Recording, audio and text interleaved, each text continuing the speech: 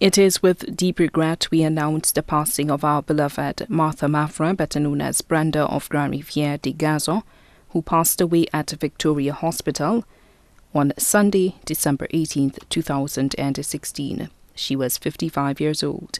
The funeral arrangements of our beloved Martha Mathurin, better known as Brenda, will be announced in a subsequent broadcast. The body now lies at Rambali's Funeral Parlour, Crowley Road, Castries.